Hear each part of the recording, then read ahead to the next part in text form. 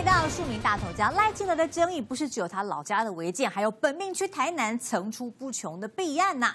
昨天他回到台南去造势，他很不满的表示说：“哎呀，只要每到选举的时候呢，在一党就铺天盖地的抹黑攻击台南，根本是做贼的喊抓贼哦！我不管是担任市长、党主席，或者是当总统，都会秉持着只要有弊端就彻查到底。那么另外谈到了这个绿电，他也说如果没有绿电的话，就没有台积电。”所以他绝不容许任何绿电蟑螂的出现，一定会彻底来扫除。好啦，所以赖当选才要来拔光电蟑螂吗？好，这个蔡英文怎么说呢？他说啊，能源转型虽然有波折，但是绝对不走回头路。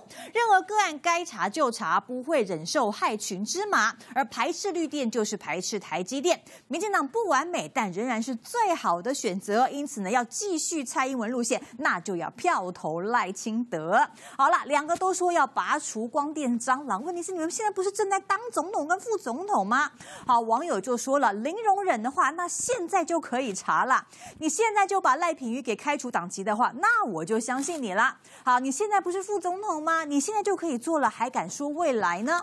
啊，蔡英文制造的蟑螂，难道赖清德说他要消除，你相信吗？好，网友也说啊，绿能蟑螂啊，这个说别人是蟑螂，那前八年不做，现在是在干嘛呢？啊，所以看来网友似乎是不太相信，如果赖清德上任的话，会所谓的拔除光电蟑螂。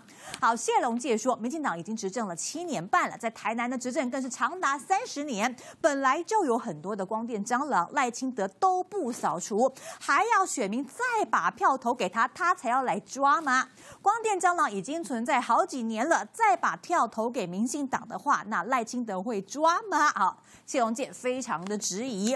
好，来听郭正亮怎么说。他说赖清德不是叫黄伟哲跟议员通通都要起立鞠躬九十度来道歉吗？啊，道歉什么？难道现在全都忘光了吗？赖清德现在是党主席，以民进党在台南市议会的实力，可以发动改选，让邱丽丽下台啊。哦，对，李全教当时强硬到两百三十二天都不进议会，啊，邱丽丽竟然停权就没事，为什么不开除党籍呢？他的故居这么小的事情都能处理到变成一件大事啊，难怪人家都认为赖清德的决策是既专断又固执啊。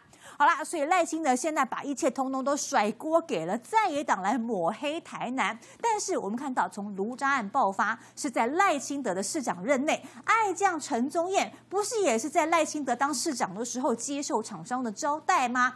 到这个被检警监听到卷入光电利益，还有这个议长贿选的邱丽丽，当初不也是赖清德拉着他的手来陪他选举，要大家支持邱丽丽来当议长的吗？到底是谁害得台南被染黑黑的呢？德委员怎么看？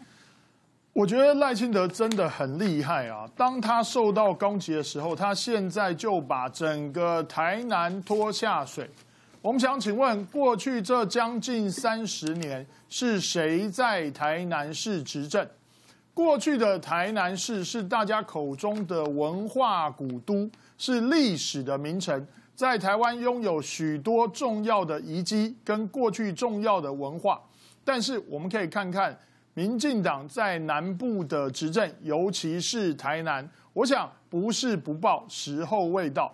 当时赖清德执政所造成了许多的弊案，或许在当时被掩盖住了，被 cover 住了，但是后来终于纸包不住火。就以陈忠燕为例，我们想请问。当时是谁一手提拔陈忠燕？不管在台南市，或者后来赖清德到了中央担任行政院的院长，我们想请问是谁一路拉拔陈忠燕？当然是赖清德。而到了最近，终于爆发出来，让大家看到了陈忠燕过去在台南市的时候，接受相关业者情色的招待。所以，当然，这个时候赖清德必须断尾求生，马上划清界限，而陈忠燕也就乖乖的自己辞官回家了。但是，在这个部分，大家都可以看得出来，这不叫做船过水无痕，而是一点一滴都留下来了。而这几天，当然最热门的是，是赖清德自己以前的亲信出来爆料。表示赖清德过去在这个台南市议长的选战当中，用了很多不同的方法，甚至于找金主来帮忙协助处理相关的市议员，让他自己的人，也就是过去的邱美惠议长，能够当上宝座。所以刚刚主持人特别讲到，李全教担任议长的时候，你是一个态度。但是后来的赖美惠，甚至于现在的邱丽丽，我们想请问赖清德，你不管是担任台南市的市长，或者是到了中央担任行政院院长、副总统，你的标准态度是一致的吗？当然不是。所以在这个部分，我们只能说，台南人有非常多好的、善良的群众，而不是都跟赖清德一样。赖清德现在只是想要把大家拖下水，我们也奉劝赖清德，你自己所做的一点一滴都留了下来，千万不要在这个时候还来陷害台南的乡亲。我想，这么这两年以来，尤其是八十八枪的枪击事件，是还有后来的光电相关的弊案。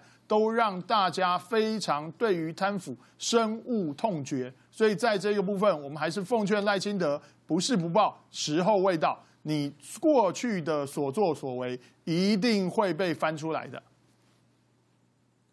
好，面对民众质疑，民进党的非核政策是不是引发了后续的各种光电黑金问题呢？赖清德就说了，等到我当总统，地方推动绿电受到了阻碍，那就由中央来做，责任由中央来扛啊，绝对不会容许绿电蟑螂的出现。一旦出现绿电蟑螂的话，他一定会彻底的扫除。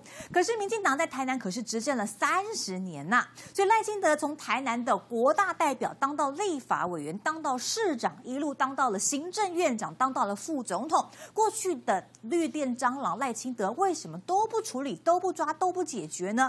难道是他当这些官位的时候都没有能力抓吗？那现在他说要把票投给他，让他当总统，他就要来拉绿电蟑螂了。所以他当了总统之后，真的会抓绿电蟑螂吗？难道他当了总统就有能力抓，就会来兑现他的支票吗？历史哥怎么看？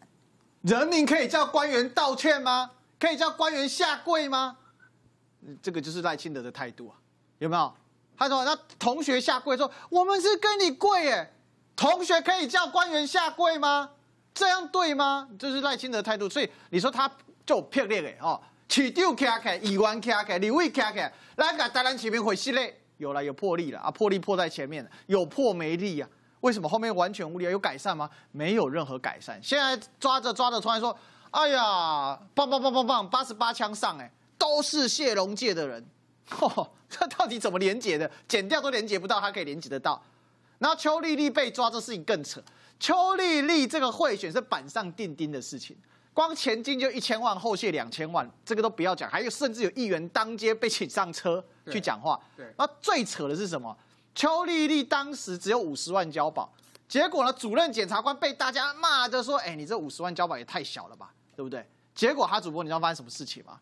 主任检察官自己请辞啊，换人就搞多少啊？嗯，交保很多，三倍一百五十万。他光钱金一个人就要一千万，你该一百五十万交保。更扯淡的是，不限制居住，不出不限制出境，然后呢，还跟台南市的市政府一起出去玩呢。